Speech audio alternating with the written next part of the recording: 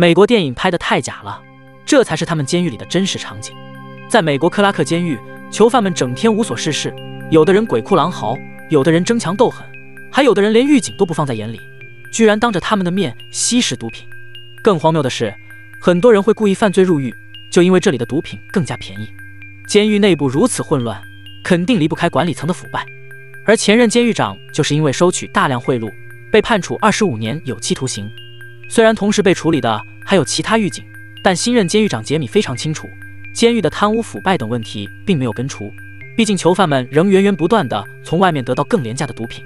为了搞清内幕，监狱长杰米制定了一个前所未有的计划，那就是招募七名从未进过监狱的普通人当做卧底，帮助他打探犯人们如何进行私下交易，尤其是谁在帮助囚犯运送毒品。如果谁能在里面坚持六十天，并且提供准确情报，那么就会获得一百万美元的奖励。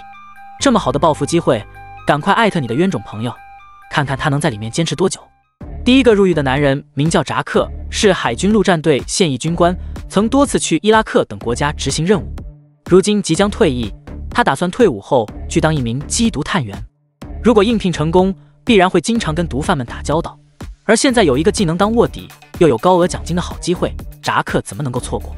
办理完入狱手续，扎克扛着个人物品，跟着狱警来到 C 监区。此时扎克的表情非常淡定。但内心还是挺紧张的，毕竟他还没有入狱经历，也不知道监狱里到底是个什么样子，会不会有什么意想不到的危险。其实内心紧张的不只有扎克，还有监控室里的监狱长杰米。七名志愿者都是普通人，万一他们在监狱里受到无法想象的伤害，那么杰米自己绝对脱不开干系。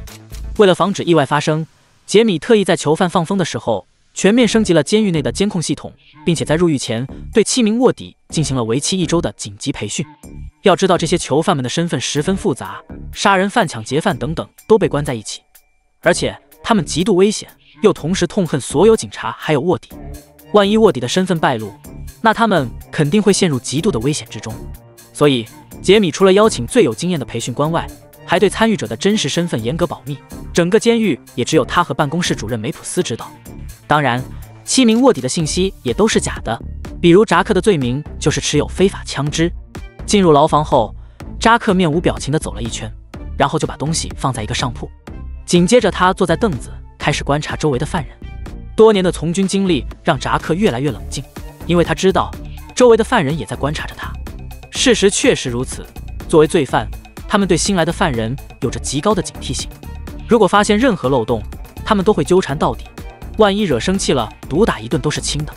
扎克很清楚这个规则，所以一开始他就默默地坐着。如果有人前来搭话，回答的也是不卑不亢，毫无破绽。没多久，扎克敏锐地发现有人在打扫卫生，并且周围的犯人似乎对他很尊敬。直觉告诉扎克，此人的地位一定很高，于是起身主动帮忙。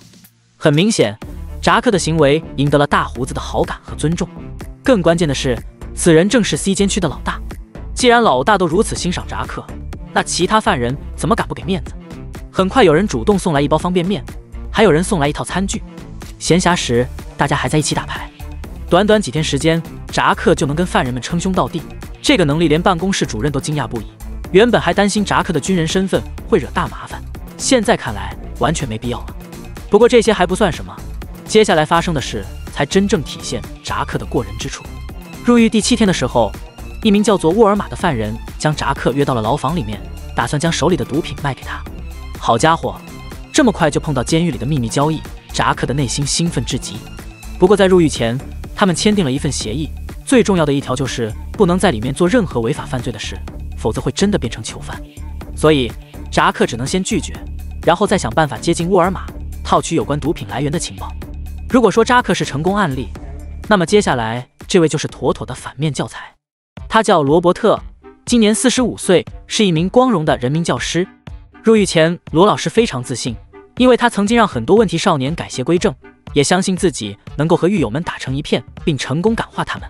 再加上完成任务能够获得巨额奖励，所以罗老师对这个挑战有着浓厚的兴趣。为了避免怀疑，罗老师跟扎克的入狱时间并不相同，而且他被关押在隔壁的地监区。进去后，罗老师忽然觉得电影拍的还是太保守了。看看这周围都是什么妖魔鬼怪，内心忐忑的罗老师环顾四周，发现里面根本没有空余的床位，最后还是在犯人的指引下找到一处空地，铺好床垫。罗老师并没有老老实实的待着，而是马上准备交朋友了。他先是不停的在大厅里面转悠，然后见人就笑眯眯的点头。而其他犯人早就对他议论纷纷，都觉得罗老师似乎有什么大病。溜达了半天，终于有一个光头小胖主动搭理罗老师。看小胖的姿态就知道，他十分觊觎罗老师的美色。而罗老师却认为小胖十分善良，还把他当朋友相处，聊得那叫一个火热。很快，监狱老大看不下去了。他让人把小胖叫过来，然后狠狠地教训了一番。此时罗老师还不知道自己已经被其他囚犯盯上了，竟然还拉着别人继续口嗨，结果一不小心把自己犯的事说乱了。原来的剧本是罗老师因为闯红灯被警察拦下，然后发现他的身上有盗窃拘捕令，于是被关进监狱。但罗老师忘乎所以的说成是在六十五号公路闯红灯被捕。犯人一听，立刻发现里面有漏洞。因为六十五号公路是高速公路，根本没有红绿灯，这说明罗老师在故意撒谎。再加上他的行为太过诡异，所以有犯人断定罗老师在入狱前肯定是名警察。不信你看他的走路姿势，是不是跟那些街道上的条子一模一样？为了能让别人相信自己的判断，这名犯人还决定当众揭穿罗老师的谎言。他先是让罗老师重复一遍自己的说辞，然后立即指出里面的漏洞，最后干脆直接问罗老师是不是警察。这时候罗老师才发现自己把台词记乱了。虽然自己确实不是警察，但身份也是卧底啊！一想到被发现的后果，罗老师顿时两腿发软，冷汗直流，于是赶紧找个理由搪塞过去，然后躺在地上没敢再起来。又过了一天，罗老师越来越觉得那群犯人看自己的眼神不太对劲，没准他们正在密谋如何暴打自己一顿。越想越害怕的罗老师打算向监狱长求助。搞笑的是，罗老师又把求救暗号记错了，本来正确的求救信号是将毛巾挂在脖子上即可。而他却把毛巾挂在了摄像头上，在这里破坏监控系统可是严重的违规行为。罗老师的这番操作不仅把其他犯人搞得一脸懵逼，还把主任气得不轻。虽然罗老师不是真的罪犯，但如果想继续完成任务，就必须接受惩罚，而惩罚的内容是被关禁闭一个月。此时罗老师仍然没有意识到问题的严重性，还嘴硬地说自己有信心完成任务，因为他已经和小胖处成了好朋友。但罗老师还不知道，小胖就因为跟他聊天。遭受了无妄之灾。现在办公室主任彻底对罗老师无语了。那么单纯的罗老师后面能不能来个大反转？咱们拭目以待。话说回来，无论扎克和罗老师表现多好多坏，其实都能给我们一个提醒，那就是千万不要抱着侥幸心理去做一些违法犯罪的事，否则一定会付出非常惨重的代价。目前已经有两名卧底正式入狱，其余五名参与者即将登场，其中还包括三名女性。那么他们又会面临什么样的危险和机遇？给小军一个点赞关注，下期视频不见不散。